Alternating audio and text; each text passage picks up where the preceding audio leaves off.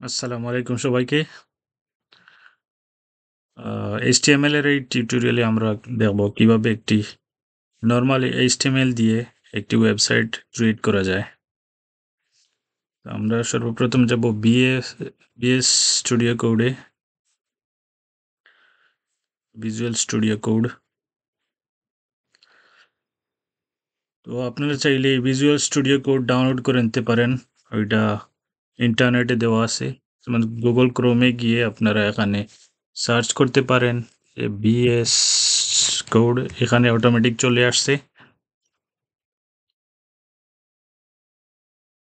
Download লিখে দিবেন download লিখে দিলে এই যে এখান থেকে আপনারা আপনাদের এই যে ডিভাইস অনুযায়ী উইন্ডোজ হলে উইন্ডোজের এটা ডাউনলোড করবেন ম্যাকের হলে এই যে অ্যাপলের হলে এই ম্যাক থেকে ডাউনলোড করতে পারবেন এটা থেকে। তো ঠিক আছে ডাউনলোড করার পর আমরা আমরা চাইলে যে কোনো কোড এডিটর ইউজ করতে পারি, তবে এই ভিএস কোড এডিটর এটা বেস্ট আমার মনে হয়। নোটপ্যাডেও নর্মাল নোটপ্যাডেও এডিট করা যায়, তবে ওইটা অনেক কষ্টসাধ্য, ওইটা খুব বেসিক একটা কোড এডিটর তো আমরা actually VS Code editor use করব। তো ফার্স্ট অফ অল আমরা একটা নর্মাল ফোল্ডার ক্রিয়েট করব। এখানে লিখব ফোল্ডারের নাম দিব লাইক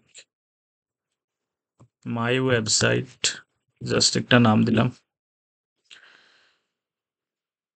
তো এই ফোল্ডারটা আমরা বিএস কোডের মাধ্যমে ওপেন করব।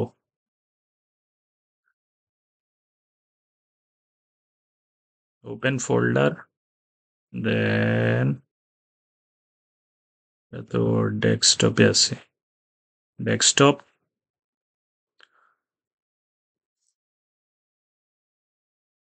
so my website so আপনারা দেখতে পাচ্ছেন যে এই ফোল্ডারের ভিতরে কিছুই নাই। এটা এমটি ফোল্ডার তো আমরা এখানে এখানে একটি এইচটিএমএল ফাইল ক্রিয়েট করব। আমরা নাম দেই ইন্ডেক্স ডট এইচটিএমএল হোম পেজের নাম এই যে ইন্ডেক্স দিয়ে হয়, এটা একটা হোম পেজ তো এইচটিএমএল জিনিসটা কি, সেটা আমরা জেনে আসি। আমরা হোয়াট ইজ এইচটিএমএল যদি লিখি হোয়াট ইজ এইচটিএমএল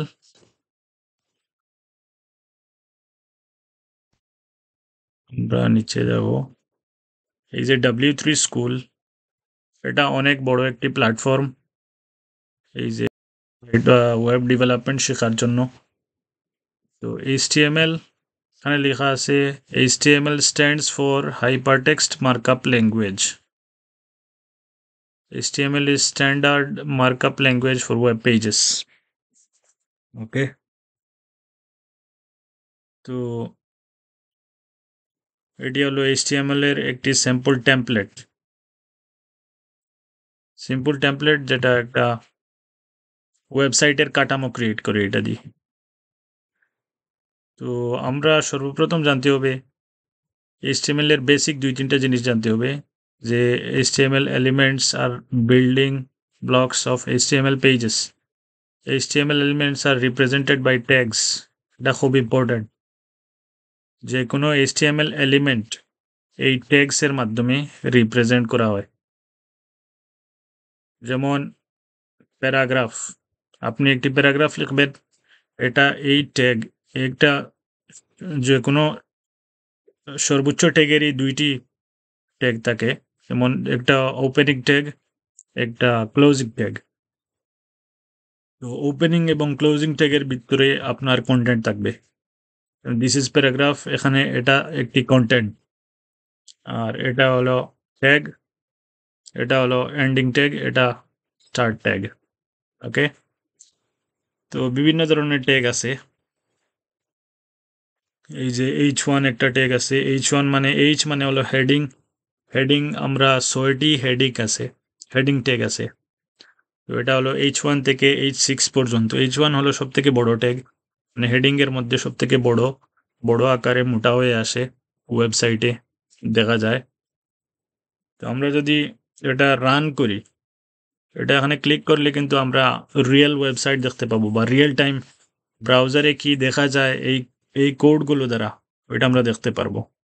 এটা এইচটিএমএল একটি বেসিক টেমপ্লেট বা অরিজিনাল টেমপ্লেট তো আমরা দেখি এটা রান করে। এই যে দিস ইজ এ প্যারাগ্রাফ এটা কোথা থেকে আসছে? এই যে এখান থেকে। দিস সরি এখান থেকে। ওকে এটা হলো প্যারাগ্রাফের নর্মাল ফন্ট ফন্ট সাইজ আর এটা হলো দিস ইজ হেডিং এটা দিস ইজ হেডিং সো আমরা যদি দেখেন এইচ সিক্স পর্যন্ত আছে রাইট এটা যদি আমরা এইচ থ্রি করি, এখানে থাকবেন এখানে এটা কিন্তু ছোটো হয়ে যাবে। এইট থ্রি এখানে যদি রান দিই আমরা দেখেন এটা ছোটো হয়ে গেছে। কিন্তু এটা স্টিল হেডিং আকারে আছে। এই যে দেখতেছেন বোল্ড হয়ে আছে। মানে হেডিং সবগুলোই কিছুটা বোল্ড লাগে দেখতে। এটা যদি আমরা এইচ সিক্স করি এইচ সিক্স এখন যদি রান করি, দেখেন একেবারে ছোটো হয়ে গেছে। তো এইচ ওয়ান এইচ টু এগুলো বেশি ইউজ করা হয় অ্যাকচুয়ালি দেখেন। তো ঠিক আছে, আমরা ব্যাকে চলে যাই।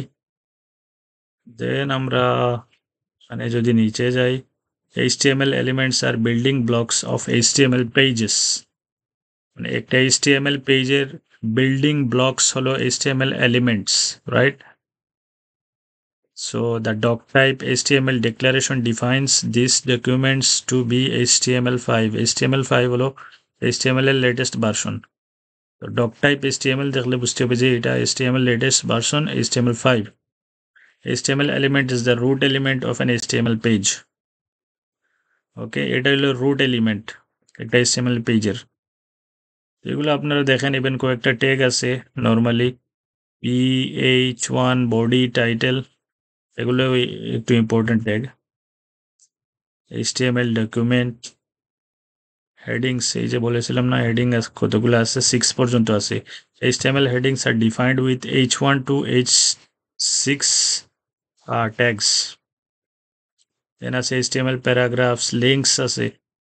এই যে আমরা লিঙ্ক দেখি ওয়েবসাইটে এটা এই এই ট্যাগের মাধ্যমে রিপ্রেজেন্ট করা হয়। দেন এইচটিএমএল ইমেজেস আমরা ওয়েবসাইটে যতগুলো ইমেজ দেখি, এটা এই ট্যাগের ভিতরে থাকে। এই ট্যাগের কারণেই কিন্তু আমরা এই যে ওয়েবসাইটে আমরা ইমেজ দেখতে পাই। ওকে যেমন এটা একটা ইমেজ এটা যেহেতু ট্যাগ যদিও এটা অ্যাড আমরা যদি ধরি, এটা যদি ধরি একটা ইমেজ তো এটা কিন্তু এই ইমেজ ট্যাগের কারণেই আসতেছে। এই ট্যাগের কারণেই আসতেছে ওকে তো দেন আছে বাটন ট্যাগ আমরা বিএস স্টুডিও কোডে দেখি। এখানে এই কোড এডিটরের একটা ভালো দিক হলো এটা। যেমন ধরুন এইচটিএমএল আমরা যদি লিখে ইন্টার দিই। আচ্ছা আসেনি। এইচটিএমএল ফাইভ হ্যাঁ। এই যে এইচটিএমএল ফাইভ এখানে যদি আমরা এন্টার দিই, কিন্তু আমাদের পুরো টেমপ্লেট দিয়ে দিচ্ছে রাইট তো এখন আমরা একটা ট্যাগ ইউজ করি। যেমন ধরেন এইচ ওয়ান ট্যাগ এখানে যদি লিখি দিস ইজ হেডিং দিয়ে সেভ করি। এটা আমরা আমাদের ফাইলে যাব। এই যে ফাইল এটা আমরা ডাবল ক্লিক করলে এটা কিন্তু দেখা পাবে রাইট এটা কিন্তু ব্রাউজারে দেখাইতেছে। এটা ব্রাউজারে দেখাইতেছে, এখানে আমরা কোড করছি ওকে এটা এক পাশে করে দিই, তাহলে বোঝা যাবে। এই যে দেখেন, এখন আমরা পি ট্যাগ লিখি ই দিব। This is a paragraph save করব মানে রিফ্রেশ দিব। দেখেন দিস ইজ এ প্যারাগ্রাফ এসে গেছে। তো এভাবে একটি একটি কন্টেন্ট লিখে ট্যাগের মাধ্যমে কিন্তু একটি নর্মাল এইচটিএমএল পেজ বা normal website page home page create করা হয়। তো কথা হবে নেক্সট ভিডিওতে থ্যাংক ইউ